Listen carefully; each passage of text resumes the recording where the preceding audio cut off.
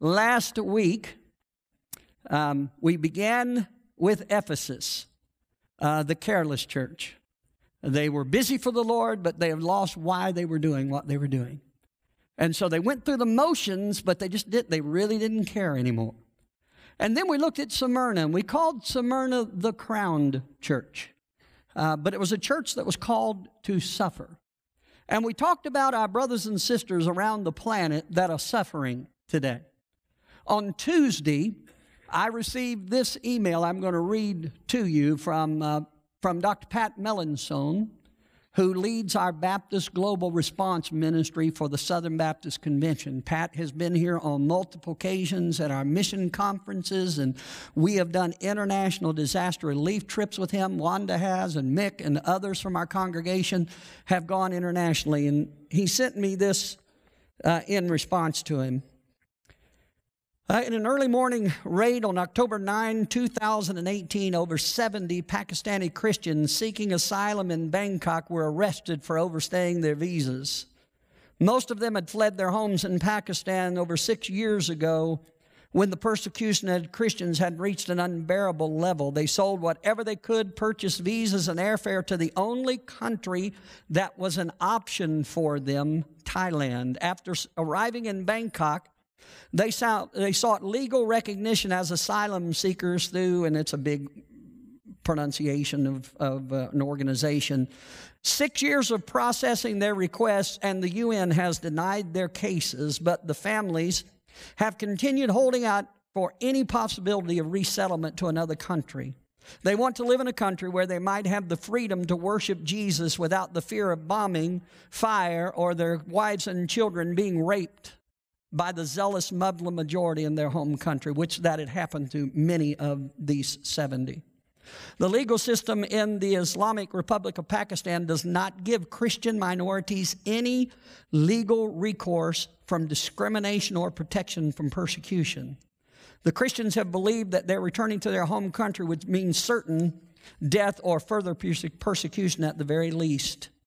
Everett and Laurie Miller have worked for a year and a half to establish an underground English learning center among this very group who were arrested. The Pakistani refugee teachers that have equipped to lead a group of students was arrested along with all of the children that they teach. Over 30 children from one apartment building, ranging in age 2 to 18, are now incarcerated in the infamous and overcrowded immigration detention center along with their parents. The Thai immigration police are pressuring these detainees and assuring them that their only option is deportation. Given the hopelessness of their current situation, all the families are now begging to return to Pakistan rather than waste away and watch their children die and be raped in prison. We are trying to resist these families, uh, assist these families rather, in providing airfare for them and their children to return to Pakistan. Our hope is that God is going to do something much bigger than we're able to ask or imagine. This group of Pakistani Christians has been equipped to share their faith through Bible stories. They have passed through the fire and have had their faith strengthened by perseverance in times of trouble. We see this as a commissioning of missionary workers being sent to the harvest field. Our heartfelt belief is that the seeds of the gospel which have been sown into these families will bear lasting fruit in one of the most difficult and least reached countries in the world. Father, we stop for a moment and realize, uh, Lord, I, I just say it again, I am a spoiled American. And Lord, I pray for my Pakistani brothers and sisters right now. And Lord, I, I pray, Father, I, they do not know what will await them. At best, persecution. At its worst, their deaths. But Lord, they're, they're, they're, as Pat said, they're going to be sent as missionaries. They're, they're out of options, Holy Spirit, unless you move. God, you are the God that is sovereign, and you are the God that controls, and you're the God that moves. So touch and move. I pray for your hand of protection. I cannot even begin to speak. Uh, think of the, and, and it just, it, man, I can't hardly even read what has happened to these children, what has happened to the ladies. Lord Jesus, I, again, I ask you to deliver. I ask you to use them. But Lord, you, you told the church at Smyrna to be faithful unto death. And Lord, this, it didn't get much more real than what we got right here. So Father, would you, would you be with them? You, you never promised we wouldn't go through the valley of the shadow of death. You never promised it. But you promised to be on the other side waiting. Be with our Pakistani brothers and sisters, I pray, in Jesus' name. Amen and amen. Revelation chapter 2, we begin our study in the third church. Uh, it was really kind of cool this week, by the way, while you're turning there, beginning in verses uh, 12 through 17. Uh, the the uh, last night that um, last day that uh, Greg and, and Brent, or Brent was with us from Life Action Ministries, uh, they came in. Brent sat in my or um, Greg sat in my office with me. He said, "Now, Pastor, I want to give you a couple of books." Um, recommended follow up from the conference, and I want to give these to you. And I want to kind of walk through them with you if you don't care, because we've just seen if you kind of do these things, it, it continues the what's been taking place for the last four days. And he said, So here's my, my our first and strongest suggestion to you. We strongly recommend that you preach a series of messages from Revelation 2 and 3 on the seven churches in Revelation. Call God as my witness. And I just kind of smiled and said, Yeah, I think we can handle that one. That, that one will be all right.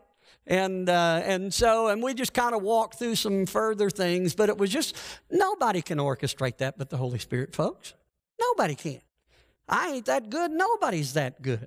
I didn't know what they were going to talk about when they got here. I knew we were going to talk about revival, but I had no idea.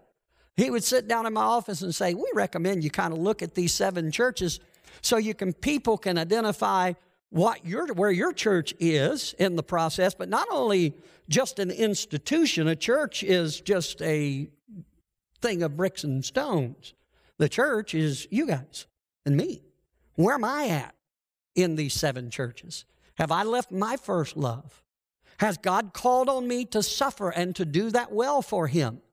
Or as we see in this church here, uh, the state of many churches in the United States of America. This week and next week, we've got Pergamus and we got Thyatira. Okay? Uh, these, are, these churches are dominant in the United States of America today. Now, let me say it again. These two dominate the churches of the United States of America today. So we want to, we got to figure out what are they and what are they doing. In, um, in your notes there, this week we will continue our study. Our third church is called Pergamus, and I call it the compromising church. All right, Pergamus is going to be bad. Next week, Thyatira is the corrupt church. So these two churches exist in America today. And they are the dominant characteristics of the church today. So what are they? Chapter 12, verse, uh, chapter 2, verse 12, and to the angel, this is the pastor teacher of the church in Pergamus, right? These things says he who has the sharp two edged sword. Now remember, to each church. Jesus is going back to his description that John, how John described him in Revelation 1 as he would be coming in all of his glory. He takes one of those characteristics and focuses on it to each of the seven churches. So in uh, Ephesus, he who holds the seven stars in his right hand. Per, uh, Smyrna, he the, who is the first and the last, who was dead and came to life. Now he who has the sharp two edged sword, verse 13, I know your works and where you dwell, where Satan's throne is. Um, Smyrna had a synagogue of Satan. Now, Pergamus has his throne. And so we're going to escalate even in the next church.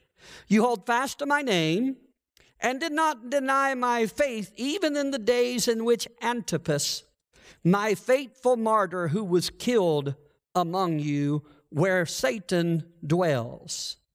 Nevertheless, but I have a few things against you because you hold those, uh, you, you have there those who hold the doctrine of Balaam, who taught Balak to stumble, a stumbling block before the children of, of Israel to eat things sacrificed to idols and to commit sexual immorality.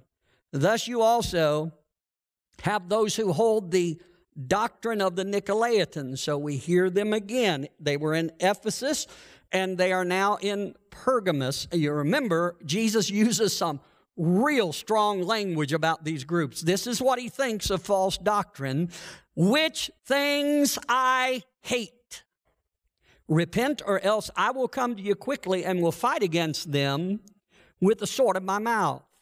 He who has an ear, let him hear what the Spirit says to the churches. To him who overcomes, I will give some of the hidden manna to eat. I will give him a white stone, and on the stone a new name written, which no one knows except him who receives it. So, in your notes, we're going to look at the approval real quickly. Uh, called the greatest city in Asia Minor, Pergamos is the compromising church. Pergamos had the first temple dedicated to a Caesar, was an avid promoter of the imperial cult. Their city also had a temple dedicated to a big god that I never can pronounce the name right, but the god of healing, and uh, which insignia was the entwined serpent on a staff. Uh, Pergamos is also known, famous for their libraries, their theater. They actually, at this time, had uh, Pergamos, in Pergamus and actually developed a parchment for writing.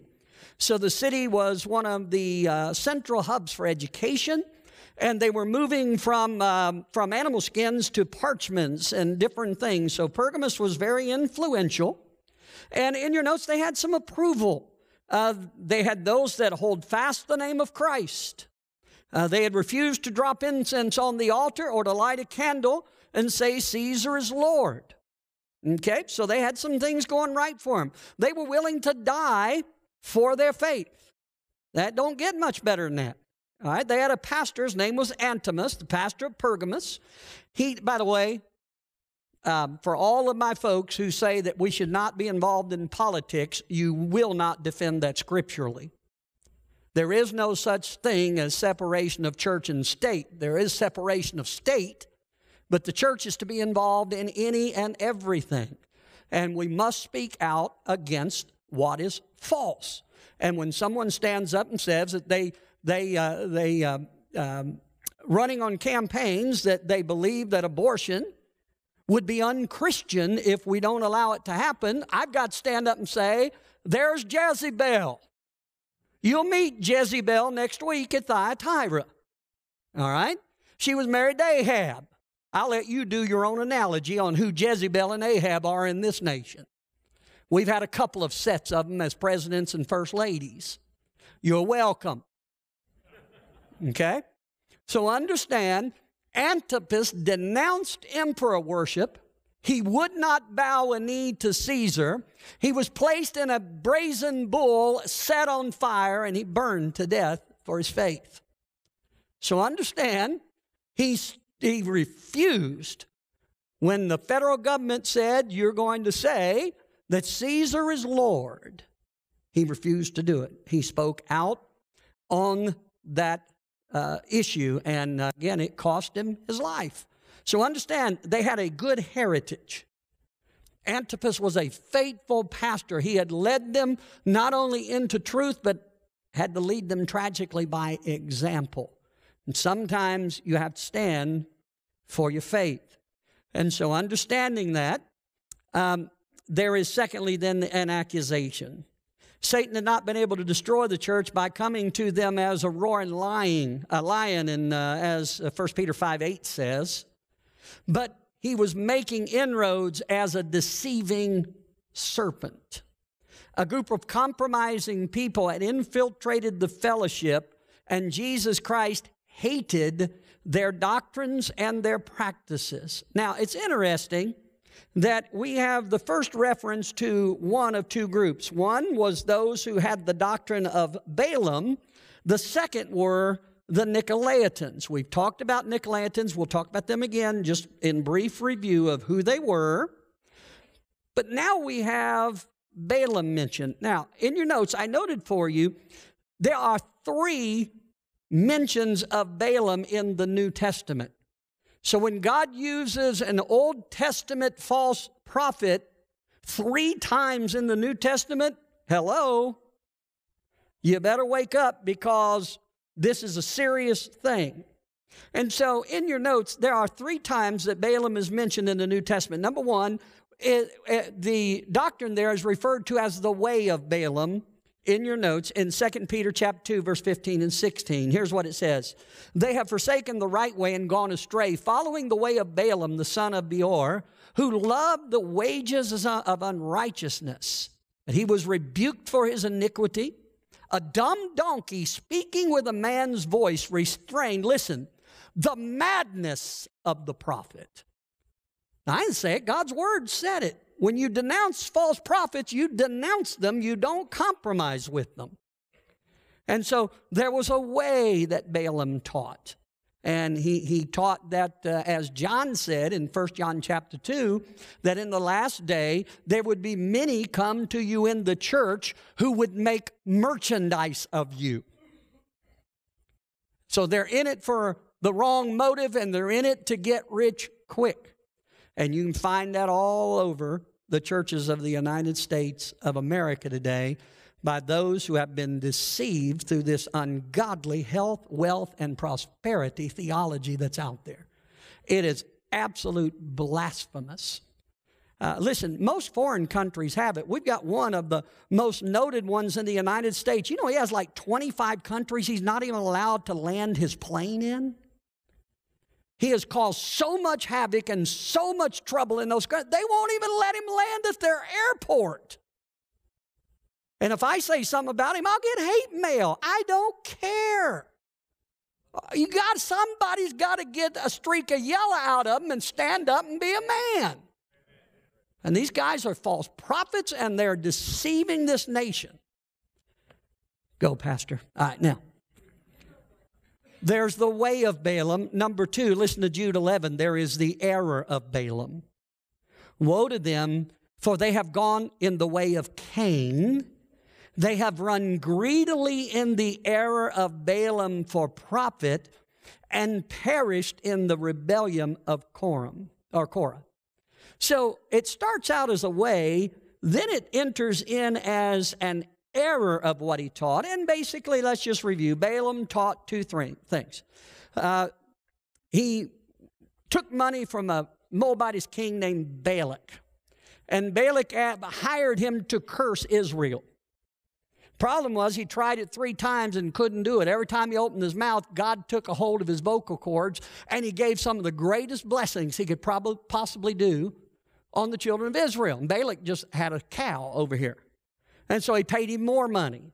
Opened his mouth second time, nothing come out but blessings. Did it a third time. Third time, God talked to the guy through a donkey to try and stop him, and he didn't get his attention. If your donkey starts talking to you, listen. it's first time in all of history a jackass talked to a. You fill it in. A donkey. So understand, he does it a third time, Dave, and just blesses Israel everywhere. All right? He couldn't do it. He went to Balak and said, Listen, don't matter how much money you give me, I can't curse these people. But I can tell you how you'll get them.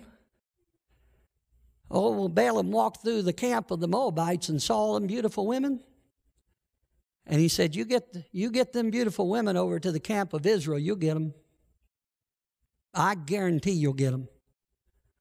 You send them over there, and I guarantee you they're going to succumb to that temptation, and you're going to defile their nation, and you'll destroy them from within. And that is, friend, exactly what happened to Israel. So you got the way, the error, and now in and the Pergamus, it's now a doctrine being taught. And what's being taught? It's okay. It's okay to participate in the festivals at Pergamus, down at the medical center. It's okay to go down there and, and uh, you know, get involved in all of the temple prostitution, both male and female. It's okay to do those kind of different things. Listen, there's nothing wrong with, with uh, participating in the sacrificing to idols. And the Nicolaitans would come along and say, Now listen, everything's okay. It does, don't get involved in the politics. It's really not going to hurt to go down and bow a knee to Caesar and drop a little bit of incense or burn a little candle. There's no, you're going to be a patriot. You're going to be a real good citizen. You don't have to do anything. Listen, don't listen to what Antipas and other people are telling you. And Jesus would look at you and I and say, I tell you, I hate it. It is no longer the, the Satan has his throne here. And you never compromise with satanic doctrine. Revelation 2:14 I have a few things against you you hold them. Now there are three types of the will of God and for the sake of time I'm not going to get to them today I'm going to give them to you though. In Balaam's life there was a directive will of God. God tried to reach Balaam. I just want you to understand what he tries to do with all false product, prophets, false teachers. He really loves them and tries to reach them. And uh, he, th- there was a directive will of God. You will not, Numbers 22 15 says, Balaam, you will not go with them. You shall not curse the people, for they are blessed. God moved on with Balaam, still trying to reach him, and said, Listen. And God came to Balaam at night and said, If the men come to you, rise, go with them, but do not speak a word unless I tell you to speak it. Now, he told him not to go. Balaam's going anyway. God said, Listen, I'll go with you. I'll, I'm trying my best to draw you to me. And finally, there's the overriding will. Balaam said, uh, It doesn't matter what God says, I'm going to curse these people, and God overruled him and would not allow him. Balaam had a doctrine that said, If you can't beat them, join them. That was his doctrine. If you can't beat them, join them. Get them Moabite ladies over there. Hey, get them some, uh, get you a, a website and put their images on that website and you'll get them. They, they will not be able to resist clicking that button. They will not be able to resist Roku TV. They will not be able to resist. You put it on there, I guarantee I'll never forget 1969. Are you listening? 1969, I'm a teenage young man raised in an ultra charismatic church. Man, we didn't believe in nothing. Everybody all right? I mean, uh, you couldn't even go to the picture show. Couldn't go see the Ten Commandments at the drive-in theater when it came out. I'm just talking. We had to roller skate to gospel music. You can't get your groove on to Amazing Grace. I'm sorry. It's something like slow dancing with your gal to Amazing Grace. It just kind of takes all the mood out of it. Everybody all right? Big old, big old heifer on the stage, big old fat guy. And he's up there denouncing everything. And I'm thinking, well, reason you don't roller skate because you got your big Twinkie butt out there, you'd kill yourself. That's what I'm thinking as a 13 year old kid. And I'm telling you the truth. But here's a statement he made. He said, I'm telling you now, if we don't get serious in this nation, they're going to be pumping X rated pornography into our homes and we're going to pay them to do it. And I said, Oh man, we get this guy out of here. This guy's a nut. This guy don't know what he's talking about. Father, forgive me. Stupid is, stupid does. Everybody okay? So sometimes the voice of a prophet comes from uncharted waters or something you don't even want to hear or don't believe could even happen to your nation. And yet we are in grip with it today. We're a nation that is beset by it today.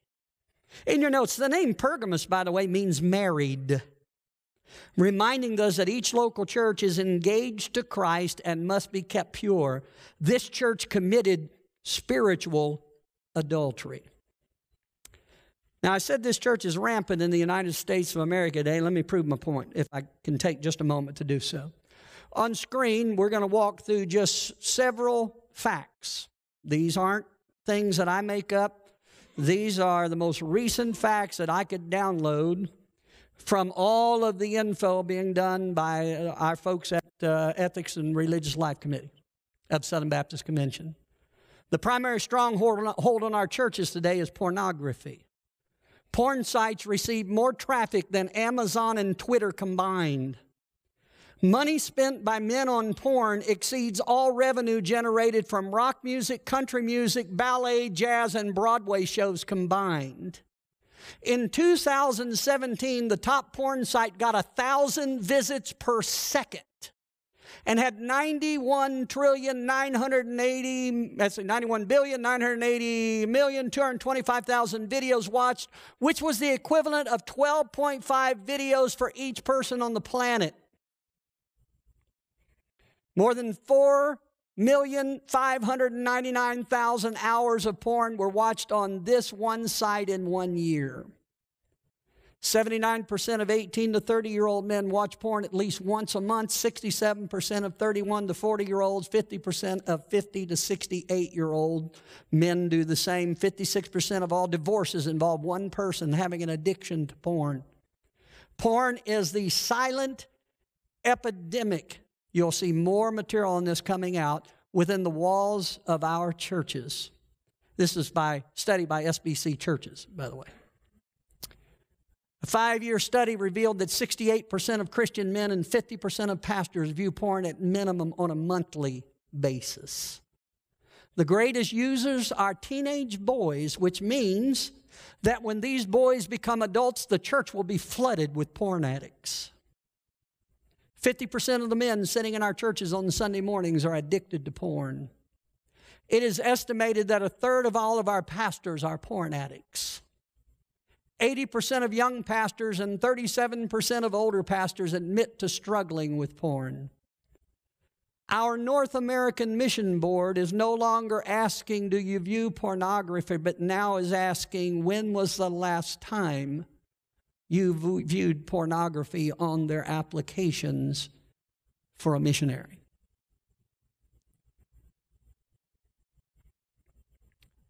Balaam has infiltrated the churches of America. If these are true by the, about the SBC, and, and you may not know this or not, uh, you, I, many of you do, I'm sure, but many people look to the SBC um, as the rock, the foundation. That if you want to see a denomination that's doing it right, and then they're per- nobody's perfect, but when it comes to people finding Christ and sending missionaries around the world and doing all these things, they, they use the SBC as a launching pad and as an example. And if this is happening in our churches today, if this has infiltrated us to this level, is it any wonder why Life Action was here this week? Why they hit so hard on honesty and holiness and obedience and you fill in the blank.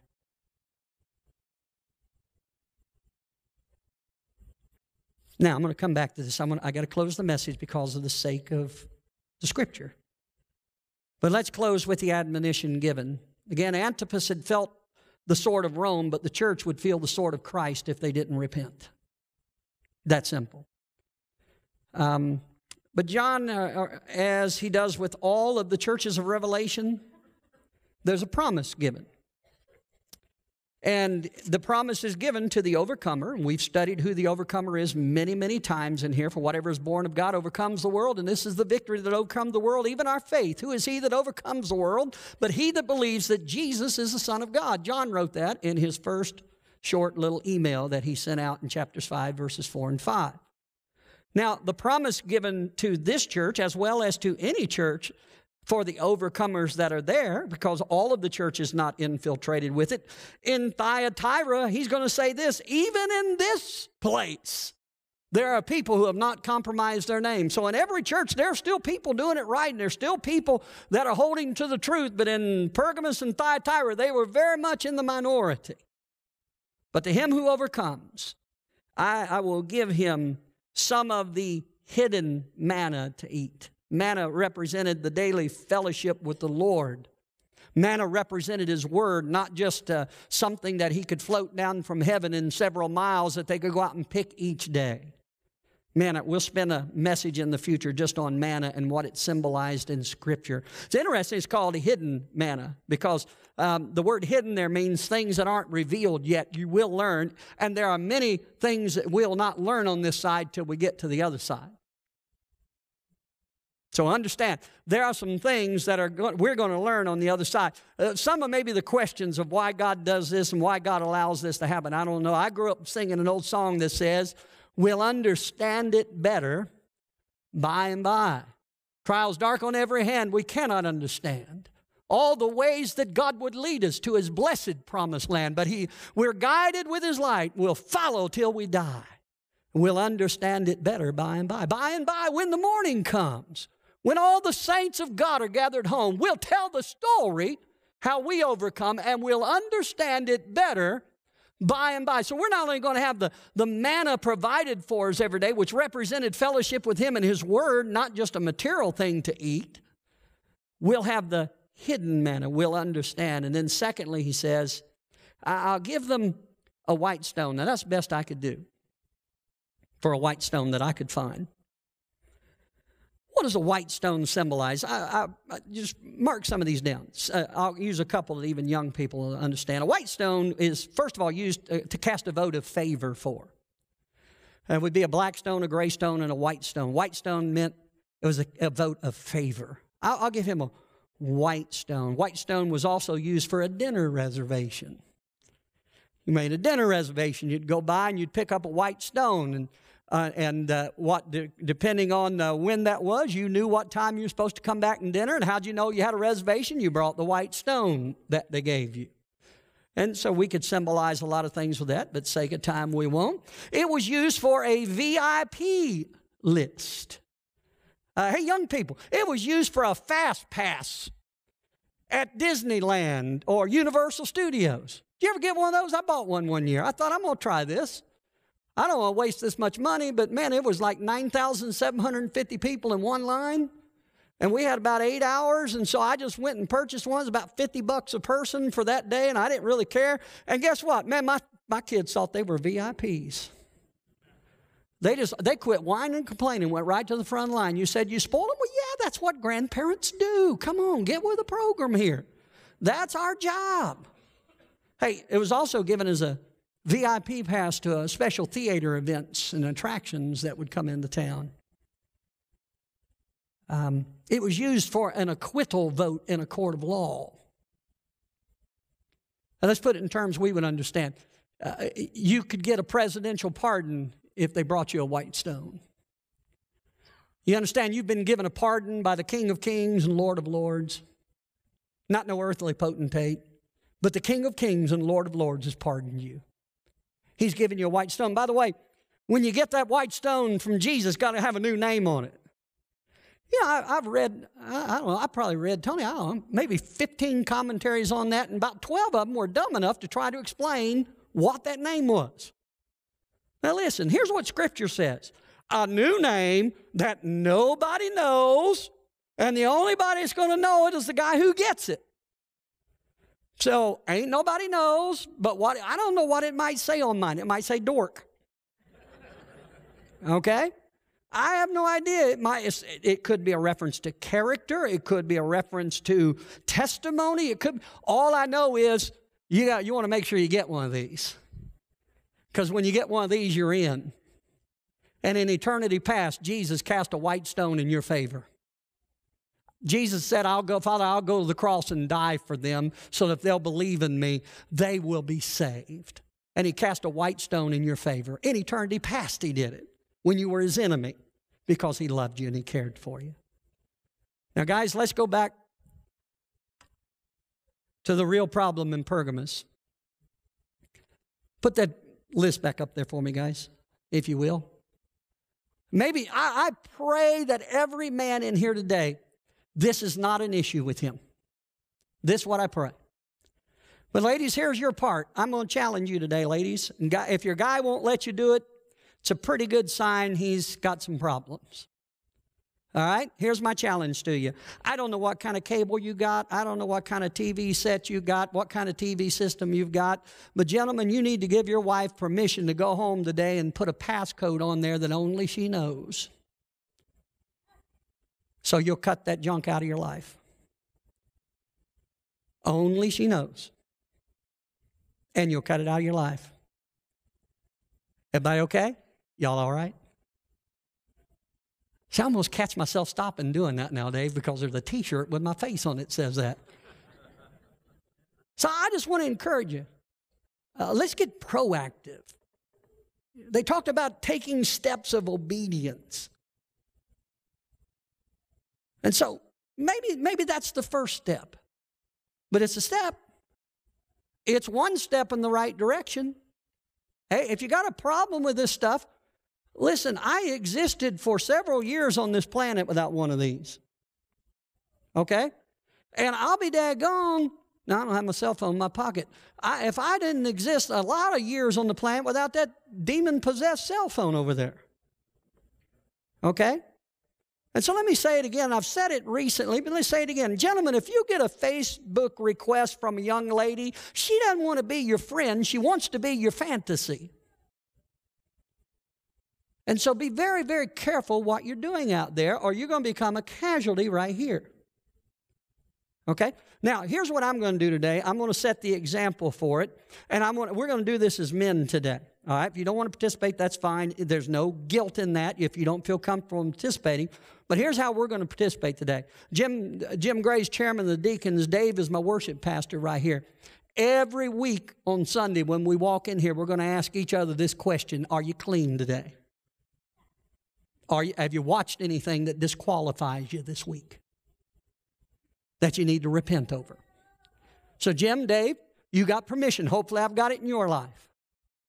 And so, guys, I'm telling you, if we're going to be, if we're going to get this junk out of our churches and have a church that's marching forward for the cause of Jesus Christ, we have got to take action and stop talking about it. Because talk is cheap. Jesus, or the word said, through Jesus, which it's the mind of Christ, said this Let us not love in word or in tongue, but in deed and in truth. And I'm telling you, I know there are guys that battle this here. I would never point you out, but I know you are. Okay? I've shared with you my struggle. There are times I have to turn commercials. Everybody okay? When I'm watching a stinking football game and I got to turn commercials. So trust me, I didn't get spayed and neutered. I'll let you figure that out for yourself. Our director of missions is sitting in the back. He's going to, uh, this is going to go all over Cincinnati uh, Association right now. Guys, I want you to join me at the altar. Come on. We're going to do a little different invitation this morning. We've been doing different ones for the last four or five nights. When we're done today, I'm going to be right down here in the front as I always am. If you're here today and you prayed to receive Christ, I'm going to ask you to join me there, and we're, we're going to, I'm going to rejoice with you. If you want to know how to find Christ, I want you to meet me there. But I'm telling you, the Holy Spirit of God convicted my heart on this as much as he's done anything. Come on down, guys. Honker in, scoot in here. Get in as close you can. We're going to do this in the next service. I'm not picking on you all. See, I just looked up there. We're an older group here, so at least we're in better percentage than them younger ones in that next service. Lord have mercy. I have four, I got 80% of the church in the next service battling with this. According to that, I only got 50% in this one. I hope and pray those statistics are wrong at Urbancrest. But I'm telling you, we're men and we better be on the watch because the enemy's plan for our marriage is to kill, to steal, and to destroy. And he will do it. Now, here's what I want you to do I want you to turn around in groups of three, find three guys. Okay, Jim, you're already with me. Dave, you're with me. You're my three. Find three guys. You may not even know them. Right, everybody get in a huddle of three. Three guys. What's the Bible say? A threefold cord is not easily broken, right? So who needs a third one? Bob out there on the end. There's two guys out there. Go join them two guys right there. Everybody in groups of three. You say, I don't even know these guys. That's even better. You can be honest with them. Okay? Now, every Sunday when we come in here, or every time you even walk by these guys, I want you to ask each other a question Are you clean? Are you clean? I ain't talking about taking a bath or a shower. I'm talking about are you clean? All right, is there anything? Now, what do you what do you do? You can either lie or you can say, "Man, would you pray with me real quick? I got to confess something to the Lord." And here's what the Bible says: If we confess our sins, He's faithful and just to forgive us our sins, and He'll do what? Cleanse us from all unrighteousness. Top our head, sole of our foot, He'll cleanse us from all unrighteousness.